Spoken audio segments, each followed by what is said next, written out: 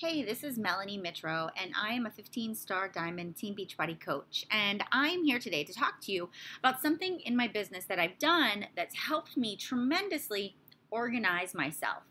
If you are a Beachbody coach or just anybody watching this video, I'm pretty sure that you struggle with time management or organizing yourself or keeping your priorities at the top, just like every other human being does. But me being in multiple different locations, meaning sometimes I work at my kitchen table on my computer, sometimes I'm on my iPhone or iPad, or sometimes I'm, you know, downstairs in my office on my other computer. I want to have quick access to my documents. And so I have found that Google Documents is a lifesaver.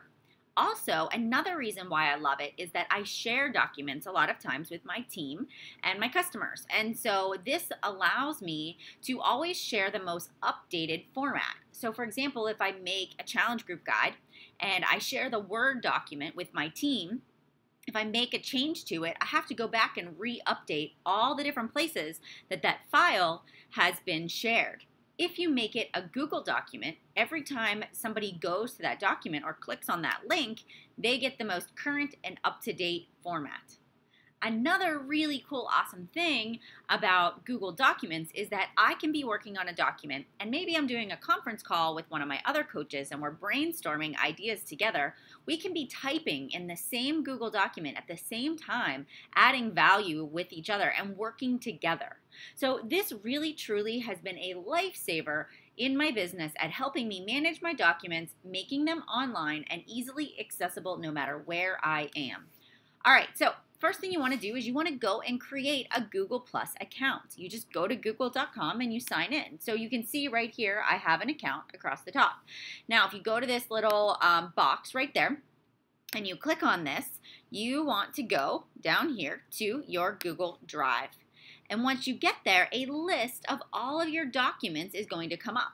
If you don't have any documents yet, then this is where you can create one.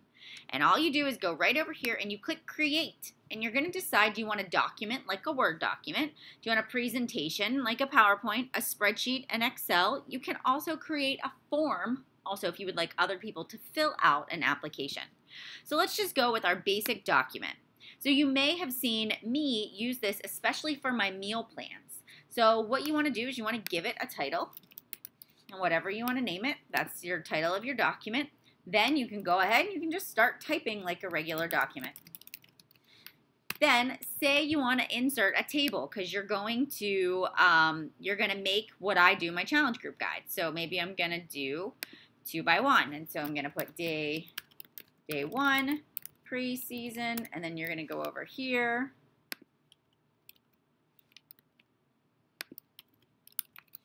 And you're going to type in the information. Then maybe you want to insert an image. You can pull images right from your computer. Not a problem at all. And you can put it right into your documents. All right, so for example, we now have this document, and so you can do anything like a Word document. You can change the font, you can change the size, you can change the text. Now you want to, to go and share it. So right now it's set to private, only me. I'm the only one that can see it. If you click on share, you can go to who has access, and you can change it. So if you want it public to anyone, you can make it public. I don't recommend that. Anyone with the link. So anybody that you share this link with, they can go and see it. And so, or specific people. So this would allow you to type in people's um, email addresses. So I usually do anyone with the link access. Anyone can sign in. So usually I leave it at can view. So if I'm just sending this to people and I want them to be able to just see it but not edit it, because if they edit it, if you allow them to edit it, then it's going to become edited on your end as well. So when I do it this way, I always do can view because they have the option to download it and save it themselves and that makes it editable. If you want to edit it, then you click there and then you hit save. Once you do that, now you're just going to control copy. That contro copies the link. And then you are going to paste it to whoever you want to send it to. So if you want to post this in your team page, you want to share it with your customers or other coaches, this makes it shareable. When you're all done, you just literally click back. This takes you back to your drive. And if you scroll down, there it is, test. And when you open it, it comes right back up just the way it was before. This truly makes my life so much easier. So I help I hope that you find this helpful. I hope that you are able to use this for your business. I do things like organizing my customers and keeping track of my contact list through here. Any of my challenge group guides or scripts that I use for my coaches that I'm using in my coach apprenticeship program because all I need to do is copy that link, put it anywhere I need it to go and it'll always be the most updated format. Hope you find this helpful. Good luck with building your business and have an awesome